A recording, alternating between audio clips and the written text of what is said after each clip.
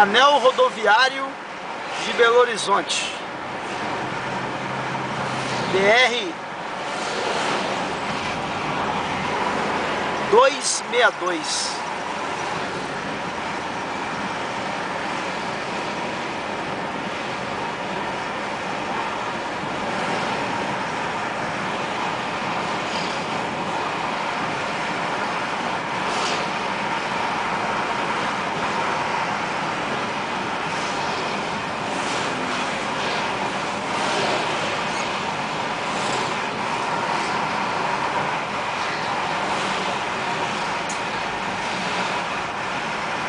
A 600 metros, mantenha à esquerda na rodoviária rodoviário Celso Melo Azevedo BR-262. Atenção!